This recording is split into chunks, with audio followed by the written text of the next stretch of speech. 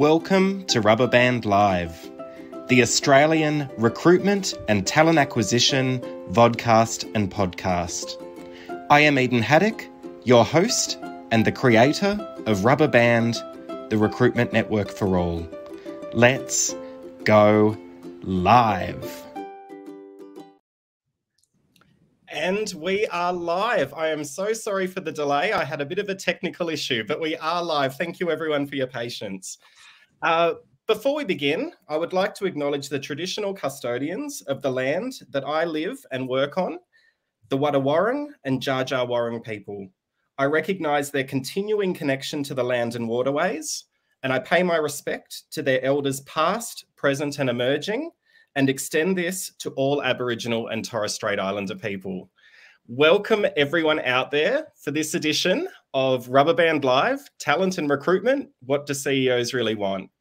I am so excited to be joined by three CEOs today Anthony Seymour Walsh, Sarah Lyons, and Mark Gates. Welcome. Thank you so much for joining us. Good afternoon. Thanks Fabulous. No, no, it's an absolute pleasure. So let's let's get to know you a little bit. So I'm going to start by, I guess, a quick intro. T- tell us a little bit about your career, a bit of a summary of who you are. Um, we'll start off with with Anthony. Keen keen to hear all about you, Anthony. Not that I haven't met you before. you have met me before, yeah. We work together very closely. Um, so I am currently CEO of Cashrewards, which is Australia's largest cashback business. It's the place you come to get cash back when you shop online and in store. I've been enrolled for four months. Prior to that, I was with Eden at Flybuys, um, Australia's favourite loyalty program, uh, in a chief commercial officer role, looking after our partnerships and our data and analytics team and prior to that, I've done a variety of finance roles. I'm a chartered accountant by trade, but wanted to step out of the out of the numbers and into influencing business more holistically. Um, so yeah, a really varied background, but uh, it's really great to, to be with you all today. Thank you so much, Anthony. It's an absolute pleasure to have you. So thank you so much for joining. Um, Sarah Lyons, t- tell us a little bit about yourself, a quick summary of who you are, and a little bit about your career. Hello, everybody, and thank you, Eden, for inviting me on. Um, I'm the chief exec of Gallagher Insurance Brokers, and well, I've been chief exec for nearly six years, having arrived in Australia about 10 years ago.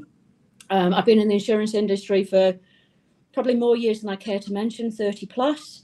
Um, but I now have the great privilege of being able to look after a business that's got 36 locations across Australia, and I get to visit them all, which is tremendous. Oh, how wonderful. Thank you so much, Sarah. And, and thanks for joining us today. And Mark Gates, tell us a little bit about yourself, a quick summary of who you are and a bit about your career. Thank you, Eden, and, and nice to see everyone. Um, yeah, actually, interesting. My my role and, and sort of very similar. Come from that corporate finance background. So again, a chartered accountant by trade. Um, went to step into more operational roles, um, and yeah, so worked on a number of large and small businesses in the corporate finance, um, operational, and corporate strategy roles. Um, stepped out of those roles for possibly one of the most challenging roles of my life when I took a year out to be a stay-at-home father and without doubt the, the hardest role of my life. Um, and ultimately set up my own consultancy business, which is how I found my uh, way into my current role, as is CEO of Vanguard Laundry. So Vanguard is the, one of the largest not-for-profit um, businesses in the country, um, and we're helping change people's lives. So it's a good opportunity to give something back and also, you know, challenge myself in a slightly wider role. Wonderful. We've got such a great variety here, I suppose, in terms of industry, and um, it's really great that our audience that are working in different sectors are able to you know hear from from the three of you sarah yourself in fin services mark not for profit and anthony in um, consumer tech. So we've got a really great variety here. Now just a reminder if you do have any questions i'm hoping everyone is able to um, have connected through to the event today. We had a little bit of a technical issue at the start. Um, please pop your comments and questions in but I've got a question for all three of you, and I'm going to go around the room because I love this question. And I think it's always fascinating, particularly for those who are starting out their careers that are aspiring to become a CEO. Tell me about your first job. Anthony, what was your first job? My first job was working for Bi-Lo, which is a, a, now defunct supermarket. They were purchased by the Coles Supermarkets Group. Um, and for me, I, I, had a variety of roles. I ended up as a duty manager I worked on checkout. I used to look after fresh produce, dairy, and even replenishing grocery. And for me, what it, it taught me three key skills. One is customer service and the importance of really connecting with your customer. The second was standards. Having good standards in that environment is critical. And the third was business systems and processes and the importance of that underpinning everything that you do to have that consistency. Wonderful. Love it. Love it. Love it. Love it. How about yourself, Sarah? What was your first job? Oh, it's my first paid job whilst I was at school. I was a chambermaid. And I can honestly say I really wow. do not like cleaning bathrooms as a result of that. but um, my proper first job um, in the in the workforce, I worked in a bank. Oh wow! So initially starting in the back office, and then made my way to be a cashier. Fantastic! Mm. Wow. And Mark, how about yourself? Yeah, so like many others, I sort of few summer, Sunday, Sunday and summer jobs, um, sort of stand-up retail jobs. My first sort of first professional job, for want of a better word, was actually working for um, Lloyd's of London um, in in London for an insurance company. So I was actually a claims assessor, weirdly enough. Um, oh. Didn't go to university like most people um, at my level, and decided to go out there and join the big bad world. And so I was working in the insurance field, and it gave me a very good um, early appreciation for the working life, particularly for one main reason I was dealing with brokers who, I'm sure Sarah will know, are a certain type of breed of individual um, for all of their ups and downs, but also working with um, insurance underwriters. So at that point in time, insurance underwriters were um, quite a sort of stuffy bunch of individuals and, and quite gruff in the way that they sort of manage their day to day. So I had these two groups of individuals that I had to liaise with. So it taught me very early on how to sort of communicate effectively at those two levels. Wonderful. Love it. Now, everyone out there that is um, trying to view on LinkedIn, um, it's actually not streaming on LinkedIn. So just jump onto the YouTube channel. Their message is in the box. Uh, now let's talk recruitment. Um, but I want to I want to talk about when you've been a candidate, when you've interacted with a recruiter or a talent acquisition professional. I want to hear about an experience, whether it's positive or negative, where you were the candidate and what made it so memorable. So I'll start with you, Anthony. Tell me about a candidate experience from your career. Yeah, great. Look, I'll talk about the experience to land my existing role. I was atta- uh, approached by a, um, a recruiter, and right from very early in the process, it was clear that it was going to be a really engaging process. And I think the highlight for me, the reason I'm calling that out as a really positive experience is I got to meet with a really wide variety of people, as you'd probably expect when you're coming into a CEO role. But the most important component for me that I think is more broadly applicable is I got to meet with a couple of the people that I would be working with if I was successful in the role. So I met with our CFO and our Chief People Officer during the recruitment process. And it gave me a brilliant opportunity to really understand what the culture of the business was going to be like before I joined. And that interview was both a bit of a grilling up front, but it turned into a really positive experience where by the end, those two individuals were really advocating for me through the process. And so, you know, that notwithstanding, it was just brilliant as part of the the overarching recruitment process to meet a couple of people from the team. And mm. I'll, I'll also give you a negative. It's a really quick and simple one when you apply for a role and just never hear anything back, it's a horrible experience. And I'm sure that no candidate ever enjoys that, irrespective of what role they're applying for. And it happens way too often. Uh, it's very, very interesting. Um, thankfully, my community, the Rubberband community, we're very passionate about candidate experience, but uh, we've all been in that um, situation and it does stick with you. And I think it, really when you don't hear from a, an organization or you receive a, a, negative candidate experience it really impacts that brand if, if you're a consumer or uh, mm. whatever it might be it, it, it really does it, it, tarnishes it so yeah completely agree with that how about yourself sarah talk us through a, an experience positive or negative where you were the candidate and what made it so memorable uh, so the experience i'm just going to talk about is about me coming to australia so uh-huh. i was uh-huh. originally contact, contacted um, been asked a question, haven't you always wanted to work in Australia? Well, my answer was no. I'd never been to Australia, um, never been out this way. I was quite happy working in the UK.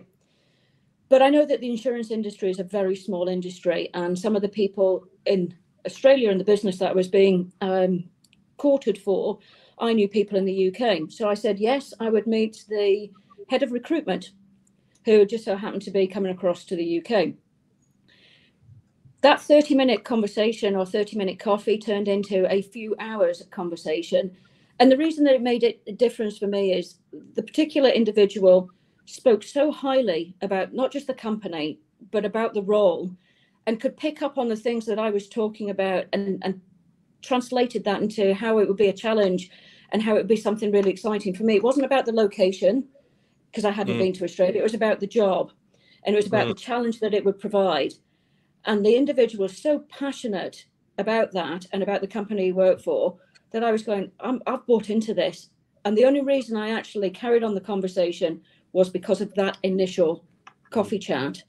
Mm. I then met a number of different people, um, both of which both you and Mark know. Um, and if it not been for those two individuals, I would never have come to Australia and I would never have had the opportunity to be a chief exec. So right back to that experience is I owe an awful lot.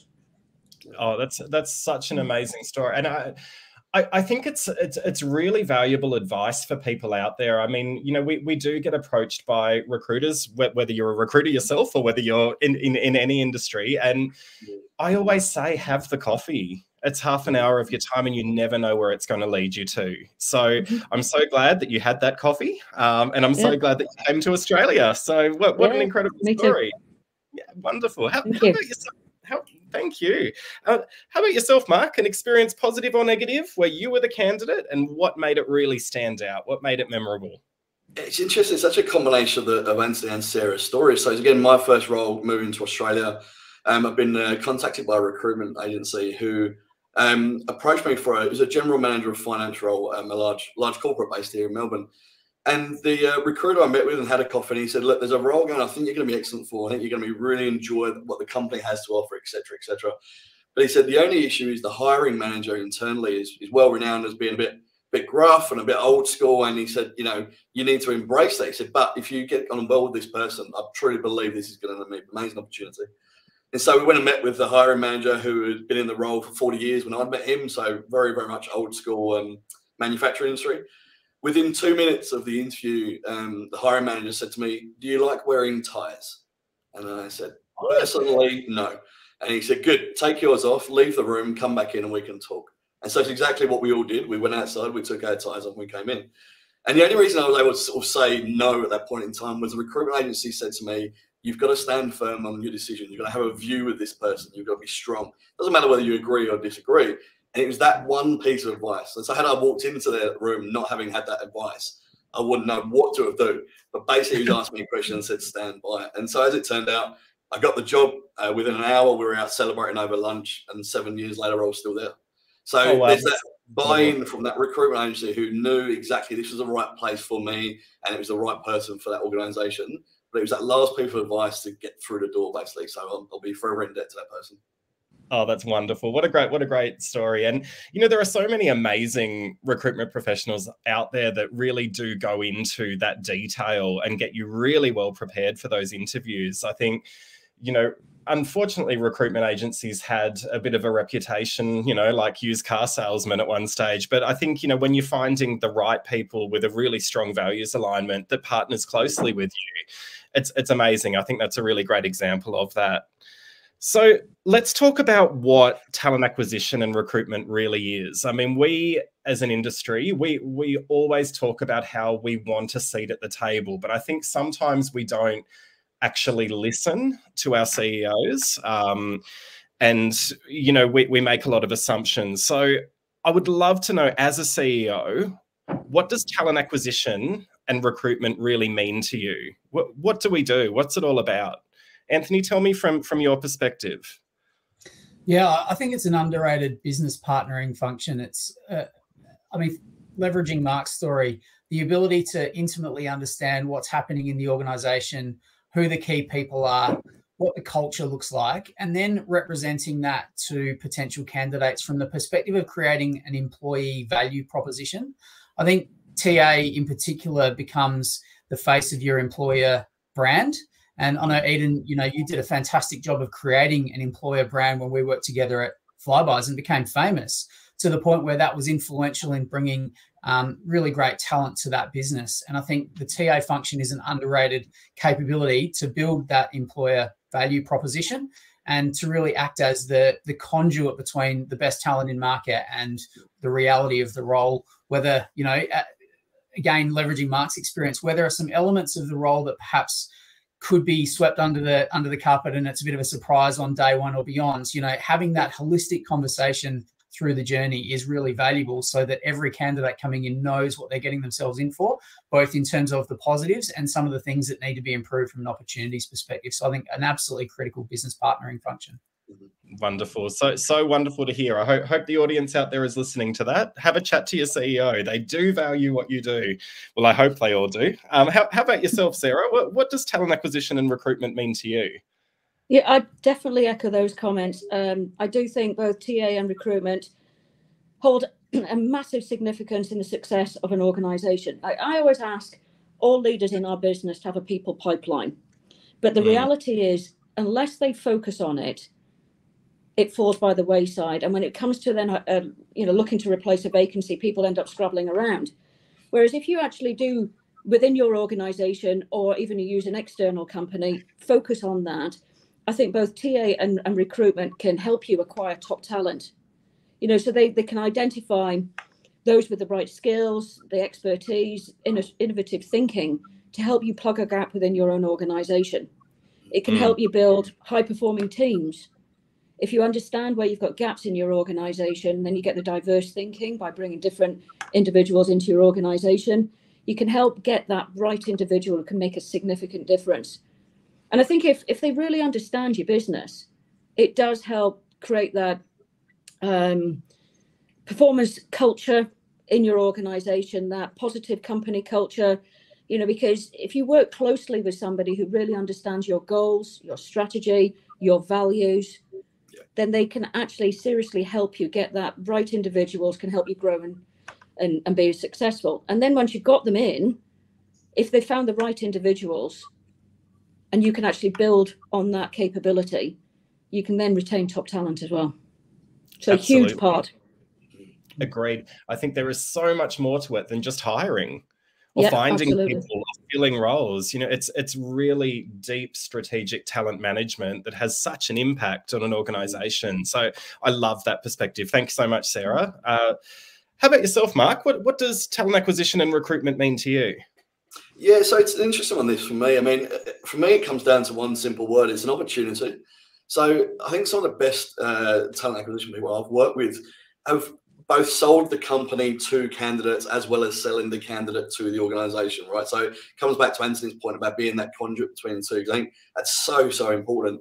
But the other one for me is is the nuances of candidates that where the recruitment agency, internal or external, can come to you with a candidate and say, look, they can fill this role and they can demonstrate this role. However, they can also help you achieve A, B, and C because of their background or because of their way of thinking or whatever it might be. And so, to Sarah's point, it's how can they help me, um, you know, fulfill my strategic plan outside of just the pure simple fact it's the person for the role. You know, it's what else do they bring to the role as an individual? Because nine times out of ten, and, and you guys would know more than most, you know, there are so many candidates for one role. So what else can they do? What else can they bring to the organization? So for me, it's that recruitment agent is, is knowing that person, having that relationship to the point where they can then sell that candidate to me as much as the other way around.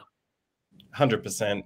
I've had a really interesting question come up. So I'm just going to, to bring that up.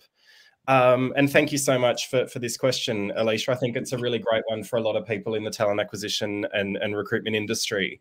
So, how how would uh, your TA team or you know recruitment partner get FaceTime with you if if they don't have that opportunity currently? So, you know you're, very busy um, you have busy schedules so you know how, how would a recruitment team or a recruiter talent acquisition professional start that conversation with you? How, how do you want us to approach you? Anthony, what, what's your, what, what are your thoughts?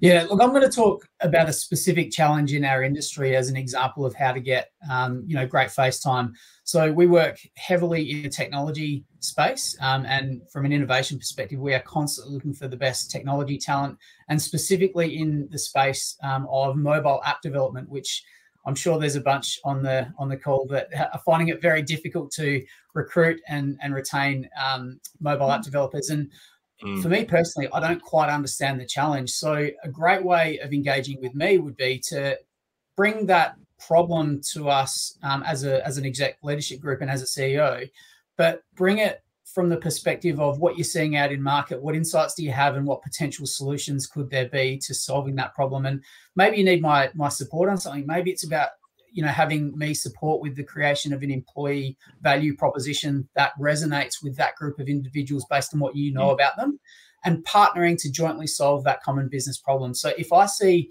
a request come through that's around identifying a really key business need and then potential solutions to that business need i'll always make time. Yeah. Um, agreed. I think you know in in my experience working with with yourself and and you know working with the ceo that we had at, at flybuys being able to present that this is the problem that I'm facing, and here are some ideas that I've got. Could we go over that together? And it was always the experience I had with the leadership team at Flybuys that you are open to it. So, Sarah, what about yourself? You know, if if your team were facing a particular challenge and wanted to get some FaceTime with you, how how would they approach that? How how should they reach out to you? A similar sort of thing. I think we're all facing uh, the war for talent, aren't we? Attracting and retaining talent. So this is the prime time for TAs to get in front of their chief exec.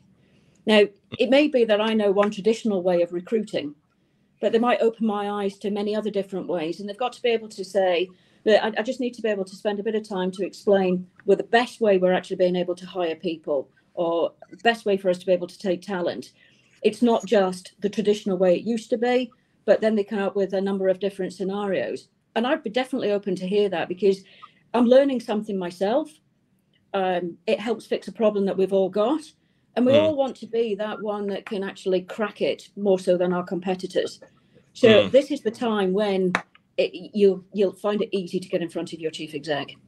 Great advice. Mm. Agreed. Um, any anything you'd like to add, Mark? Yeah, for me, um, so we deal mainly with um, external recruitment as opposed to internal. But for me, it's about being proactive rather than reactive. So one of the worst things I know in, my own experience is I will often reach out to people in the talent acquisition space when I need to do something, which is absolutely the wrong time to do it. But again, if you start to forge those relationships with CEOs about knowing what's coming up, like what's in the calendar for the next three months, you know, particularly when there's major events, there's strategic planning coming up or whatever it might be, things that the TA team can start to make an impact to, and knowing it's coming up, I think that's often the best time to sort of get involved in that process as opposed to sort of wait for that conversation to come back your direction, basically. So I think the more ahead you can get in it will certainly help. And selfishly, from my point of view, I would much rather plan for a problem that's going to happen or a resolution in three months' time than something in three days' time. So that's a that's a personal view for me. Uh, agreed. And and look, it's a really great segue, Mark, into the next question. And and and thanks, Anthony and Sarah too, um, because as a, as a talent acquisition industry or recruitment industry, we really do focus a lot on metrics. So we report on everything. We've got so many data points that come through. But what what data would you gain the most insights from? So what should we be sending you? What should we be providing you?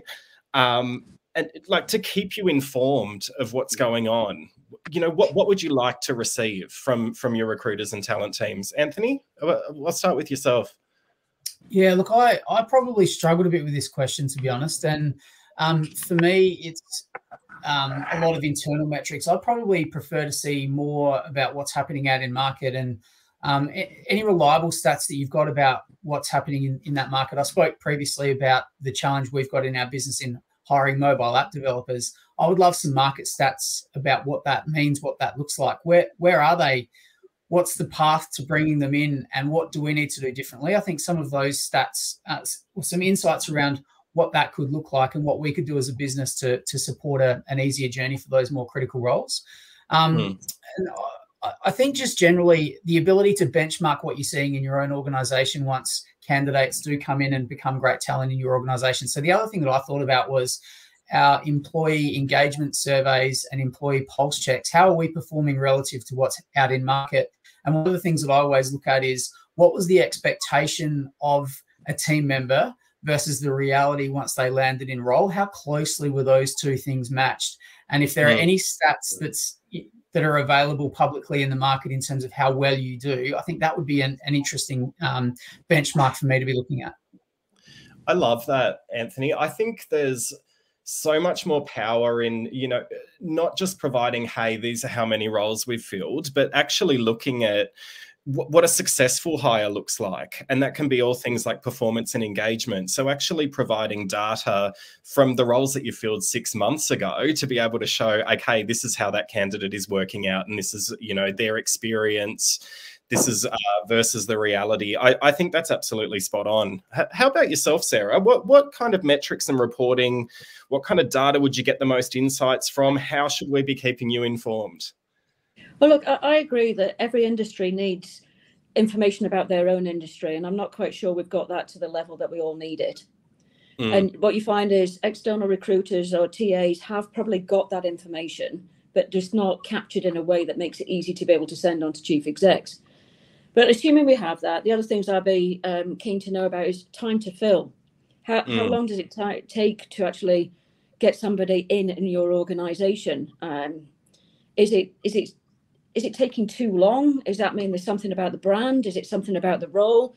Is there a different way that we could articulate it? Um, going back to my sourcing channel, uh, which one's the most popular now? Is there? Mm. Do you get different results through different channels? Uh, personally, I don't know. Um, yeah. So I'd be keen to be able to know that. And, and like Anthony, I'd, I'd really like to know a candidate's experience you know, it might be as they go through the process, but when they've actually come on board and be part of our organisation, is there things that we could have done differently? Is it is the reality different from what they were sold? Does the people who are who are the first one they come into contact with in our organisation, are they selling the job, selling the brand, selling the company, as well as it was sold to me? Mm. That's the thing I would I would like to know, and because I think it helps in terms of your turnover rates if you get the right people come in, they're going to stay for a bit longer. So I'm I'm keen to know that too. Yeah, absolutely. Agree. Mm. Hundred percent agree. And I, and I think you know mm. that that's it's always been, you know, part of what I try to share with my exec leader teams when I've been in roles because I think you you do you want to know if it is taking too long, yep.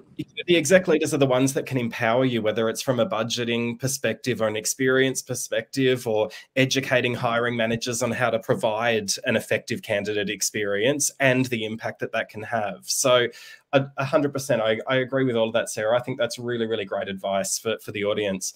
How, about yourself, Mark? Um, in terms of metrics and reporting and data, and what what gives you the best insights? What should we be sending you to keep you informed? So for me, it's, um, we're, we're in a sort of smaller organisation, so within the NFP world, it's quite a small world. But the data I'm, I'm always looking for is, you know, what's happening in, in my sector specifically. So it's come back to what Anthony and Sarah said. I want to know what my, you know, my other organisations are very similar to me, who they're looking for, what they're looking for, and why. Because I think, mm. you know, in a space where certain candidates and certain skill sets, and I use the NFP as a good example, is so niche. If we're all looking for very similar roles at a very similar time, well, that's just going to make life very, very difficult. So again, it's it's knowing what other organisations similar to mine are doing, how are they succeeding, how are they achieving it. So I think it's more um, sector-led or industry-specific information as opposed to the more generic data sets would be much more useful for me personally. Yeah, absolutely. And I think you know that it's really important to benchmark your data against the industry data because you know if I can imagine what if if you're receiving a time to heal, time to feel um, stat, it's going to be very different to Sarah. It's going to be very different to Anthony. So you want to have that context behind it mm-hmm. and what it means. You know, and and it's not just industry; it's breaking it down. You know, uh, Anthony gave a really good example of you know mobile devs, and that's been a, a, a challenge for people for the last three years. So mm-hmm. you don't want to then be benchmarking yourself against hiring call center people because it's a completely different sector and a completely different story that you're trying to tell to attract people in. So I, I think that's wonderful. Um, tell me just more generally um, talent acquisition teams, external recruitment partners what are you looking for? What, what's the value they can bring? Uh, what do you expect from them? Tell, tell me, Anthony, what, what, what do you feel? First of all, apologies that my camera seems to have gone a bit uh, left of center. This is on brand for us. Cashrewards uh, primary color is a is a purple hue, so um, I'm, I'm right on brands. Um, I, I think that the key word there is partnering, and for me, partnering to deeply understand what happens in the organization and what's happening in market, and being a conduit between those two is is the most important thing.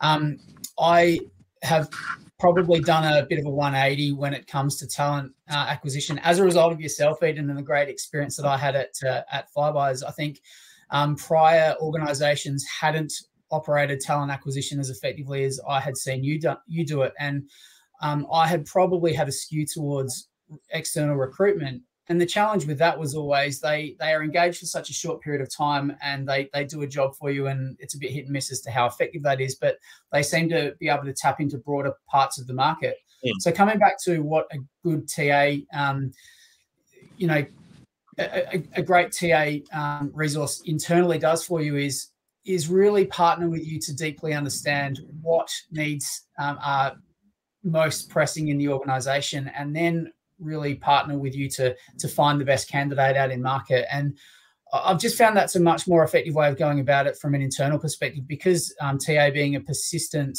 um, capability internally builds up that that knowledge of strategy and business culture. Um, mm. For me, it's a much more effective way of going about things. So I, I would really bring it back to partnering with your key business um, business leaders. Love it. Wonderful. Great advice. How about yourself, Sarah? What, uh, what, what are your expectations of your talent team and external recruitment partners more broadly? Yeah, very similar to Anthony here in, in, terms of internally. I think they've got to really understand your business. They've got to really understand your culture. They've got to really understand your goals. And they've got to be able mm. to articulate that in a way that makes sense to the people that they're actually wanting to bring on board in your organization. And absolutely wholeheartedly, it's about teamwork and collaboration. So they do have to work closely with the hiring manager they've got to be able to understand what that role is, even if they don't really be able to understand the technicalities of the role. They've got to be able to mm. articulate it in a way so they find the right people for that hiring manager. And for me, they've also got to play a part about onboarding somebody when they come into the organization. It's not, I've done the work, I've recruited them, and then I never talk to them again. It's somebody else's job. There's got to be that smooth transition across um, mm. to make sure that the candidate doesn't feel left in any way. Mm. You know, you've got to take this all the all the way through. And um, for external recruitment firms, it's all about building that talent pipeline and networks. They've got access to a lot of people. They need to be able to understand the business that they're working with to make sure that the candidates they're putting in front of them are the ones that would be a good cultural fit. Mm. So again, you know, for, for whether it's internal or external, there is that teamwork collaboration piece. It's about that understanding and that being able to articulate back to the organization and also the candidate. Yeah, absolutely. I completely mm. agree. And there's such a, a strong theme of, of partnership coming out, um, whether you're external or internal, really partnering with the business to get that depth of understanding from whether it's from a culture perspective, whether it's from the impact that that position will have when you hire the right person, um, values, all of that's coming out. So that, that's awesome. How, how about yourself, Mark, what, what do you expect? You, you mentioned that you do partner with a lot of um, external recruitment agencies, and there was a question there if someone was asking around um, expectations of a recruitment agency. So, yeah, what what are you looking for? What's important to you? So, to, to build on what Anthony and Sarah said, for me, there's a, I have an expectation. This might be too high, but I expect to be challenged. Um, and by which I mean, you know, I have pre often have preconceived notions about the reasons why I want certain roles, and this is what it's going to do. But having that sounding board with someone who works in that space, you know, that no one knows candidates better than the talent acquisition or an external recruiter. So I want them to come back to me and go, look, why are you asking for that? And it might still be the same outcome, but it's that mm-hmm. question about why. You know, don't just assume that you're given this scope of work and therefore go fill it. Because unfortunately, that, you know, a bad recruitment can often end because that hasn't been challenged along the line. So for me, and um, particularly in external recruiters, I, I want them to challenge both the, you know, the, roles I'm looking for, the, the, places I'm looking, the candidates I'm looking for, all of it. Um, and again, the most important one, and I had it not that long ago, is someone challenged the decision why a candidate was rejected. And so yeah. we were able to talk that through and go, well, why did you? Because from their perspective, they were a very good candidate. Once it had been explained, oh, actually, that's a good conversation. Maybe we should think about that. But again, it was the that next one question is a really important question. So um, for me, it's about um, yeah, getting external recruiters to, to challenge preconceived ideas, basically yeah i think that's that's awesome. I think that challenge is really important and when I reflect of when I've had really strong partnerships in organizations and when my team have, have been really effective, it does come down to the challenge because often roles aren't even designed by the talent team. So being able to challenge the role to say, hey, I'm talking to people in the market, this isn't going to excite them. We need to really reevaluate what this role will look like.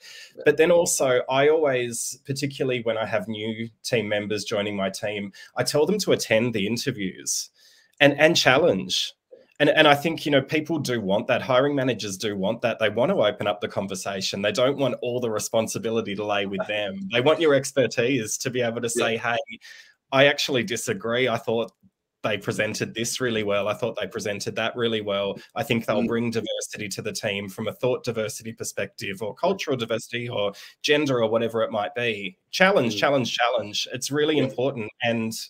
You know, I, I, I believe our CEOs and our execs want that. They don't want us to be an operational machine behind the scenes and giving all the responsibility to you as the hiring manager. So I love that. That's that's wonderful. That's that's really great advice for everyone out there. But let's do now. We're going to do a stop, start, continue exercise. I'm going to go around the room. So, what should we stop doing? What should we start doing? And what should we continue doing? Anthony, what's what's your perspective?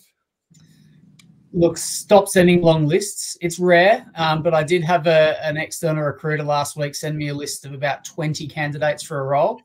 Um, oh. and it just takes both me and, and our chief people officer a lot of time to wade through a list of 20 people. I, I guess I'm probably expecting for that list to have been culled to six, seven, and, and really get laser focused on the, you know, on, on the top talent and the best fit. Um, so that's probably an easy one. Start for me is providing um, a regular view of market insights. So I spoke um, previously about perhaps struggling a little bit with which KPIs and which metrics or, or market data um, would be most useful. For me, that would be an amazing thing to, to build up. And I'll actually go a little bit off piece here. And there was a comment um, asking for our views on bringing in um, graduates or mm. I think it's graduates and I think that's a great question. You know, for me personally, I would love to know what does that look like for our organization? What are the stats tell us about how many graduates are being hired? What are other organizations doing? If if you in TA and, and the recruitment space could help us form that strategy for how to tap up the best talent early on in their career and then pro- provide a pathway into into our organization and a, and a support mechanism for doing that. I mean, we've got a fairly small organization, only 200 people, um, but that doesn't mean that we shouldn't be out there looking for the best graduates coming into market and giving them an alternative to going to one of the bigger, um, bigger organizations. And in terms of continue, I think we've probably overused this, but I just can't stress the importance enough is building great relationships and being a great business yeah. partner. Yeah, hundred percent. Agree, agree with all of that. And thank you so much for answering that that grad question, and thank you um, for for asking that question as well from the audience. Um, Sarah, stop, start, continue. What should we stop doing? What should we start doing? What should we continue doing? Trying to think of different things to Anthony, right? So stop, um, stop relying on traditional sourcing methods. Come up with something that's a bit different. Capture my imagination. Tell me something I don't know. Mm. Don't replay back the short list that I've given you um, because you you would know more people than I would and be able to uh, identify different candidates that I might not have thought of. Um, start you know the, the building long-term relationships with people leveraging that data and analytics. Again that will tell us something a little bit different. It might it might identify something that chief execs aren't aware of. Right. uh, the continue piece again collaboration with with hiring managers absolutely. Effective communication keep people informed. Um, the continuous learning and, and adapting like everybody needs to in a in the new world going forward um, I think it is an evolving industry. It's it's one where if we stay up up to date on trends, then I think we've got greater opportunities from that. Yeah, yeah, hundred percent agree. Agree with all. Um, wonderful advice. How about yourself, Mark? Uh, what should we stop doing, start doing, continue doing? Uh, so for me, the stop and the start are, are very similar.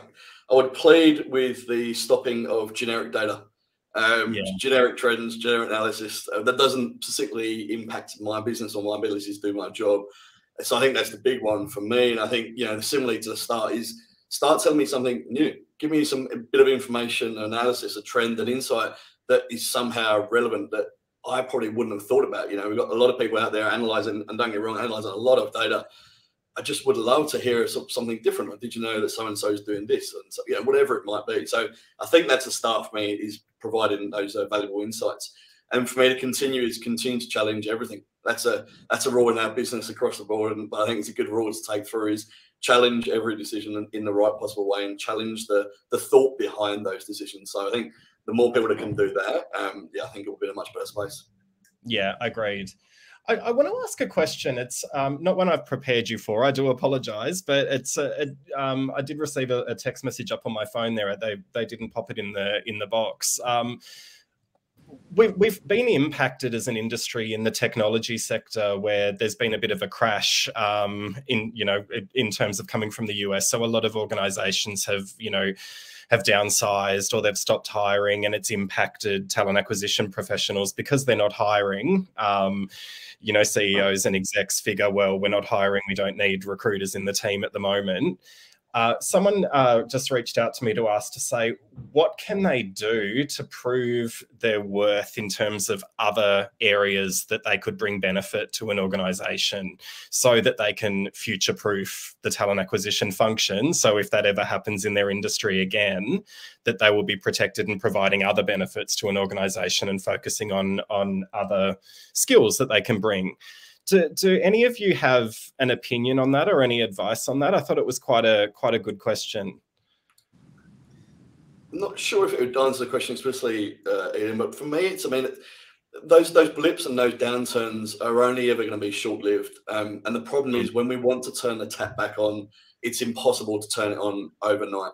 So again, it comes back to that point I was making earlier on again. If you know that there is going to be this downturn um, in the volume of work, how do you get organizations ready so that when they do want to proceed with ABC in the future, that they can get ahead of that a lot a lot quicker, basically, because the longer those roles stay vacant for when you do turn the tap back on, that's when it costs the business, you know, that, that time, that effort, that money. So for me, I, I think the only thing I can say to is how do you get both parties ready for when you need to turn the tap back on? I think that's great advice because my advice, and, and thank you so much for asking it, is – to make sure that when you are really busy that you are continuing to do talent pipelining succession planning um, effective talent management. Do that now. Don't wait for the downturn because then organizations already know the worth that you can provide that. And when the tap comes back on you're ready to go. I, I agree. Is anthony anything you'd add to that? I think it's the talent management approach, both pipeline for the future, but also existing. So where you've got recent new hires or um, you know, candidates in in the business who are, are, relatively new to the organisation. You know, some of the effective things that um, that I've seen you know, that, that Eden was a really robust onboarding approach for mm. new candidates. Now I know that we're talking about you know what, what if that dries up, but I think the best experience uh, or the, the best thing to do for a new candidate is to provide them a brilliant onboarding experience. So that shows real value add from your TA partners. I think the other bit um, that I've got real value out of, and it, it, probably blurs the lines a little bit with your HR business partner in, in some of the bigger organizations, but is about capability mapping for roles. Mm. So one of the things that we're seeing is, you know, particularly amongst younger um, team members, is they're very ambitious and they want that promotion. They want to step up and take on more responsibility. But I think there needs to be a, a really clear vision outline for what the actual capabilities and skill sets are required for that, that next role and then articulating how how that talent might get support when they're in the organization to acquire those skills and to show those capabilities. So you're, you're extending through the life cycle of team members coming into an organization far beyond getting them into day one. You're, you're really thinking about then how do you set them up for success to deliver and then potentially to proceed to progress within the organization. So that that capability mapping with your HR business partner, um, really valuable. I think that's awesome advice because, and and look, blur the lines, right? Everyone out there watching and listening, the the line between a HR business partner and a talent acquisition professional should be blurred. You should be working yeah. together. Yeah. Um, it, you shouldn't be working in silos, and it does happen too often. And I've been in roles where it's been like that. That talent acquisition sat very separately and you know you'd have an od team or a business partnering team doing all the capability work but you need to partner together uh, it's it's really important um, sarah any any advice from yourself well if i if i give you a real life example then uh, when covid first hit a lot of organizations weren't hiring people; they were just looking to manage with the people that they've got and not not cause any impacts to them. But we knew that there was going to be a, a challenge of finding talent coming in. So our internal talent acquisition team started to look at doing a grad program, oh, looking right. bringing people from outside industry. You know, so we might have a specialism of transport. How do I find people from the transport industry, not insurance, but how you can bring those into the organisation? And they pivoted a little around um, just thinking a bit differently as to how we hmm. can then bring talent into the organisation and start to grow our own. So that was bringing people in, and then the second bit, which touching on what Anthony said, is is that then how do you then develop your talent internally and look for those opportunities because people are looking for that career progression and started to they worked with the hr business partners to start to create those career pathways and and start to really focus properly on talent and what that meant and so they knew knew when opportunities came up promotions came up in the last two years i probably promoted more people internally as a result of that year of doing the hard graft to get us to yeah. this stage. Yeah, wonderful. That's that's great advice. Thank you so much. Uh, just conscious of time now. We've we've hit our forty five minutes, so we'll go around. Just some final advice for the audience. Um, Anthony, what would your final piece of advice be? Oh, look, don't underestimate your value as a business partner. We spoke about it a lot in this session. You know, you are so valuable to the organization in terms of bringing the best and, and most relevant talent in and then supporting their onboarding journey through to becoming, you know, really great. Every business is underpinned by the quality of its people, and that starts with you as a group. So never underestimate the value that you bring from a business partnering perspective. That's wonderful. Thank you so much, Anthony. Um, Sarah, final piece of advice for the audience. Well, I'm going to finish off with one of the questions you you started in the beginning about our own positive experience. So we can all uh, relay that, all thinking about how we came into an organization. If these people on the on the call think about how they wanted to be treated what was their positive experience? And then deliver that time and time again they'll get people who want to work with them. Love it. And yes audience out there remember your ceo has been a candidate. They understand. They've been on the other side. So they know. Um, mark how about yourself? Final piece of advice uh, I say, like, spent a lot of time with uh, external recruiters over the last few years. So, um, my advice for any external recruiter is be an ambassador for your client. Um, you know, yes, you're an external party, but you know, you're actually out there represents them. So know their business, talk about it, love it, you know, sell it basically. So that's my advice is be an ambassador for your client. Wonderful. Well, Anthony, Sarah, and Mark, it's been such a privilege to have three CEOs come come and talk to the community today. I, I, really appreciate you taking the time out. And I think just taking the time out to do this shows that CEOs do care about talent acquisition. You do care about recruitment. Uh, so I just wanted to really, really thank you for joining us today. It's been an absolute pleasure having you here. Thank you. Thanks, Aiden. Thank you so much. I'll let you get back to your busy days. But yeah, take care and thanks again. And thanks to the audience. Thank you so much. Thanks, everybody. Thank Cheers, you. Bye bye.